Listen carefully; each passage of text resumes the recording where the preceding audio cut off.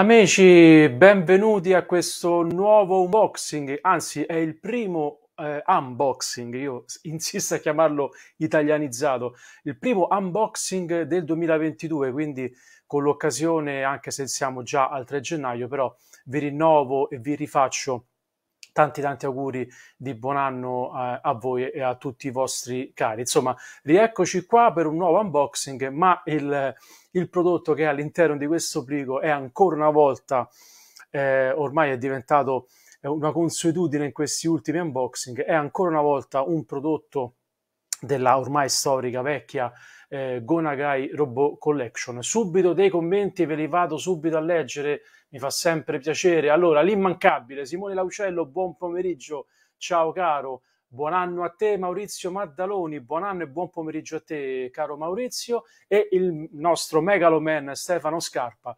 Buon pomeriggio Giaffe, buon anno, buon anno a te la tua signora, buon anno a tutti ragazzi, è sempre un piacere ritrovarvi, ritrovarvi sempre, sempre qui, quindi pronti per un nuovo anno insieme, quindi eccoci qua eh, insomma con questi unboxing che spero sempre come lo sono stati eh, insomma gli ultimi del, dell'ormai anno che ci siamo lasciati alle spalle, spero che siano sempre eh, insomma piacevoli da eh, vedere. Allora, procediamo subito all'apertura del plico, poi andiamo a parlare appunto del, del, del prodotto che vi è all'interno e come al solito, come ormai eh, l'abitudine di questi ultimi unboxing, vi ho preparato un paio di clip eh, a tema. Allora, facciamo l'apertura, andiamo subito ad aprire questo piccolo plico, stavolta è facile, non ci sono particolari sorprese. Ecco qua, ve lo vado a scartare. Allora, eh, chiaramente il venditore lo ha imballato bene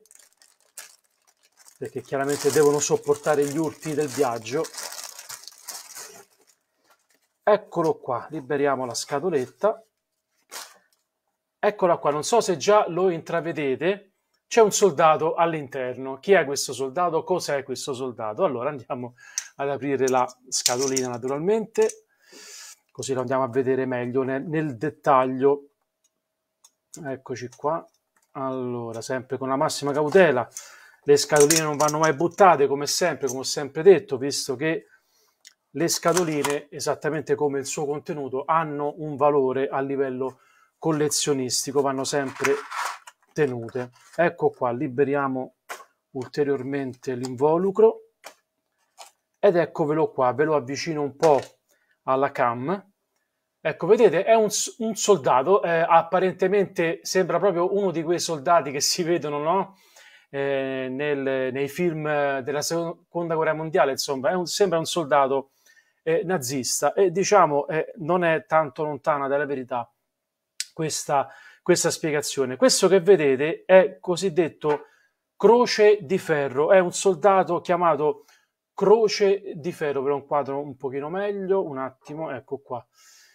Croce di ferro, ovvero eh, è quell'esercito che risponde direttamente al conte Bloken, ovvero il conte Bloken a un certo punto della serie di Mazinga Z, naturalmente stiamo parlando, a un certo punto della serie eh, entrerà proprio di prepotenza, è proprio il caso di dirlo, eh, nella serie e affiancherà, eh, insomma, darà i suoi servigi eh, al Dottore Inferno perché fino a, a, a quel momento, insomma, eh, il barone Ashura ha fallito tutte le sue missioni, i suoi tentativi di distruggere Mazinga Z, la, la, la, l'istituto fotoatomico, insomma, e la conquista conseguente della Terra. Quindi entrerà in scena il conte Blogen e porterà con sé proprio questo, questo esercito fatto di croci di ferro.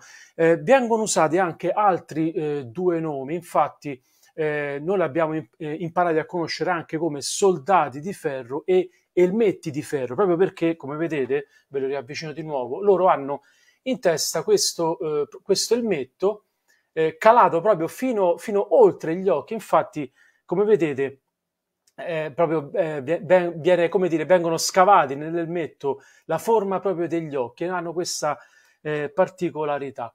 Oh, poi altra curiosità, eh, altra cosa che non è stata mai ben chiarita nemmeno dal sensei Gonagai, esattamente come l'altro esercito, quello il primo che abbiamo imparato eh, eh, a conoscere, ovvero le maschere di ferro, quell'altro esercito che risponde agli ordini del barone Ashura e quindi conseguentemente del Dottor Inferno.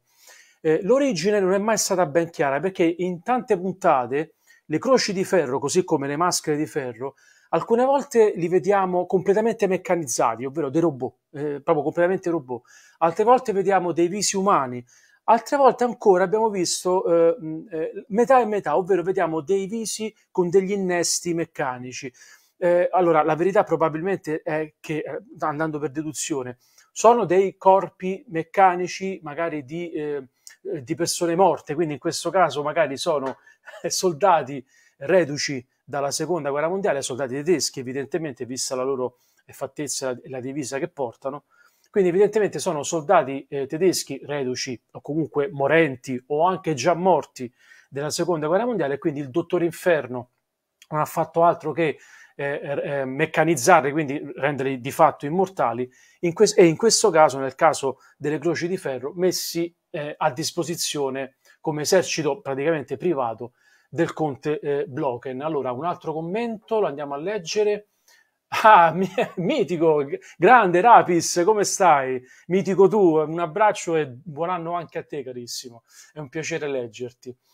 Allora, eh, vi ho preparato a tal proposito, quindi così per avere più chiara un po' la situazione, vi ho preparato due clip proprio eh, riguardanti le croci di ferro, così vediamo in quale puntata entrano in scena. È inevitabile che l'entrata in scena delle croci di ferro è, va di pari passo con il loro eh, comandante supremo, ovvero il conte Blocken. Allora, andiamoci a vedere la prima clip tratta dalla serie storica, naturalmente, di Mazinga Z, anno 1972, anno d'uscita eh, giapponese, episodio eh, 40, La fortezza volante del conte Blocken.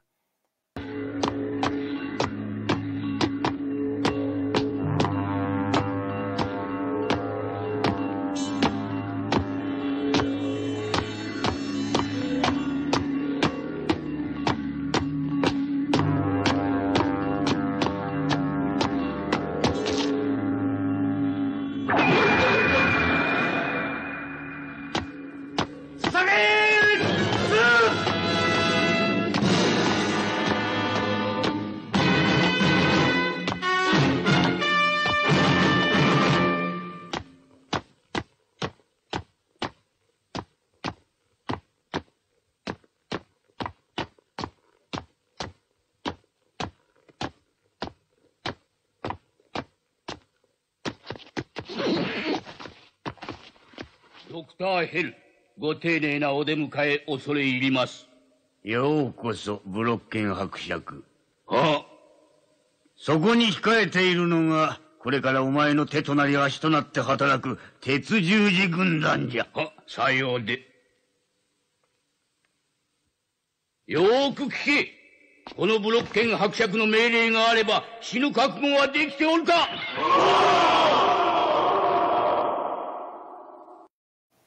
Ecco qua, avete visto insomma l'entrata in scena del Conte Blogan al cospetto del Dottor Inferno, il Dottor Inferno che appunto gli dice che gli consegna nelle sue mani questo esercito, questa armata, come l'ha chiamata il Dottor Inferno, l'armata delle croci eh, di ferro. Aperta parentesi del Conte Blogan, eh, come appunto è per le croci di ferro e per le maschere di ferro, il Contenblocken eh, era un uh, ufficiale nazista, un alto ufficiale nazista, ormai eh, morente comunque ovviamente, eh, come dire, reduce dalla seconda guerra mondiale, quindi comunque passati comunque tanti anni, eh, eh, perché comunque considerando appunto anno 1972 la guerra, la seconda guerra mondiale era finita nel 1945, quindi comunque sono passati quei, quei decenni il, il, dottor Inferno appunto eh, eh, ha di fatto salvato la vita del Conte Blocca però rendendolo praticamente un, un, automa, un meccanizzato il corpo avete visto senza testa, la testa che insomma eh, ha, ha, un'autonomia tutta, tutta, tutta sua, tutta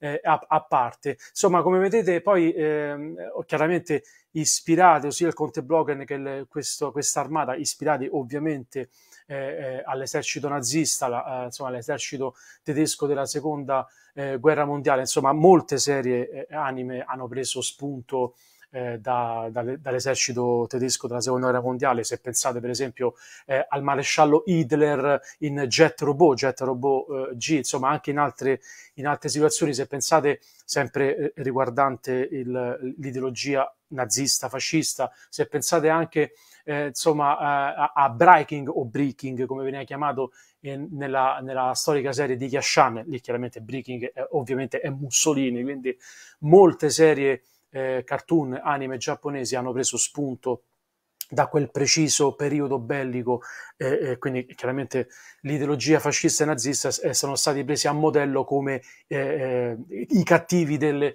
delle, serie. Allora, altro commento. Ehm, eh, ah, Maurizio mi chiede in quanto tempo ti è arrivata la spedizione.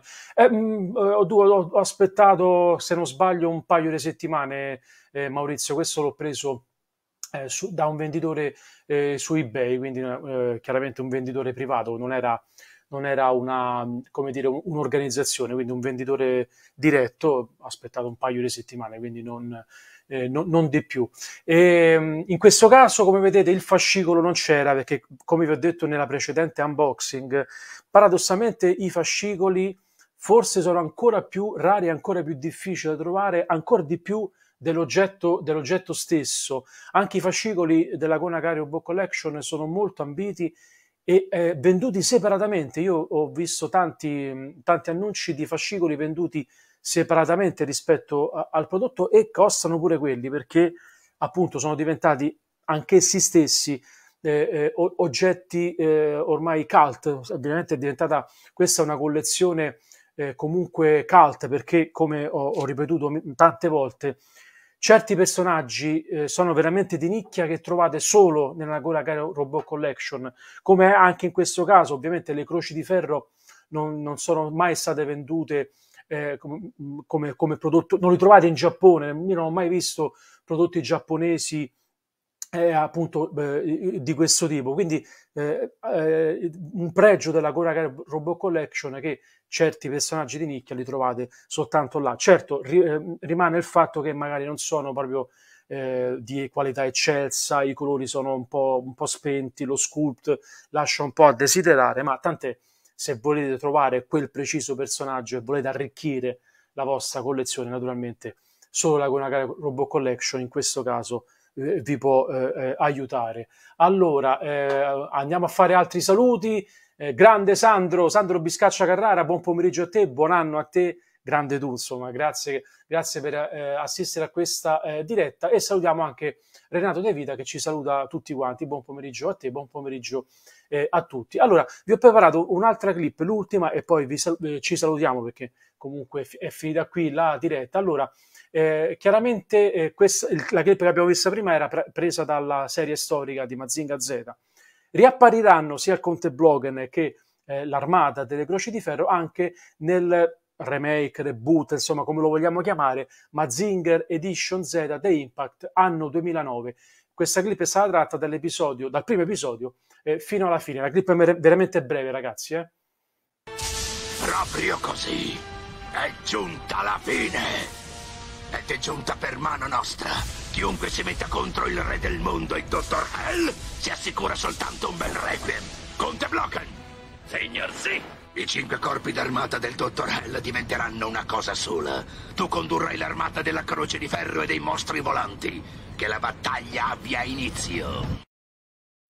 Ecco qua, ve l'avevo detto, era veramente una clip molto breve. Come avete visto, la, insomma, il, il, character design sia del Conte Blocken che anche dell'armata delle Croci di Ferro è rimasto sostanzialmente uguale eh, eh, a, eh, rispetto a, appunto alla serie storica del 1972. In questo caso hanno mantenuto, fortunatamente direi, il, il character design sia appunto del, de, de, del comandante dell'armata delle croci eh, di ferro. Benissimo ragazzi, io credo che la diretta può anche finire qua, non c'è da aggiungere, da aggiungere altro, se non appunto eh, eh, come al solito di questo, di questo personaggio farò farò delle foto che poi metterò anche nel gruppo Giaffi su web così vi faccio vedere eh, dove l'ho collocato nella vetrina e insomma anche per per, così, per ammirarlo meglio, per, per, vederlo meglio anche nelle foto. Benissimo, eh, la, la, diretta finisce qua, se non ci sono altre domande ragazzi chiudo, chiudo qui vi saluto. Eh, allora niente, vi, vi, annuncio che ci sarà anche un altro unboxing eh, a breve, ancora una volta